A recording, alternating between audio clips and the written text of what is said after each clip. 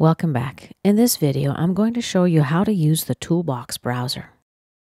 I've got a simple assembly in my graphic area.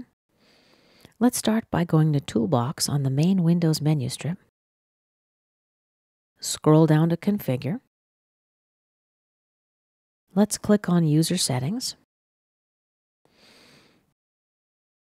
Under Files, Create Parts is selected.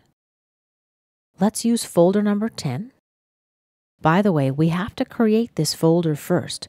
If you just try to type it in here, SOLIDWORKS is going to give you an error message saying that the folder doesn't exist.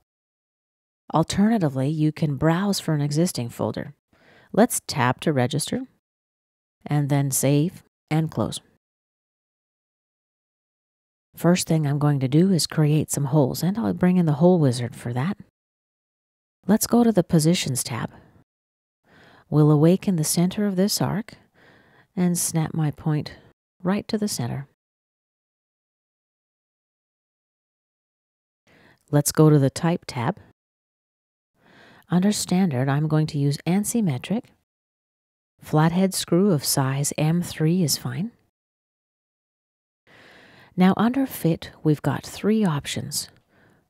Close, Normal, and Loose. Depending on which option you choose, you might end up with some unexpected results. Let me show you what I mean. Let's select loose, and I'm going to show you what I mean in a sec. Let's scroll down to Feature Scope. I'll select all components and click Accept.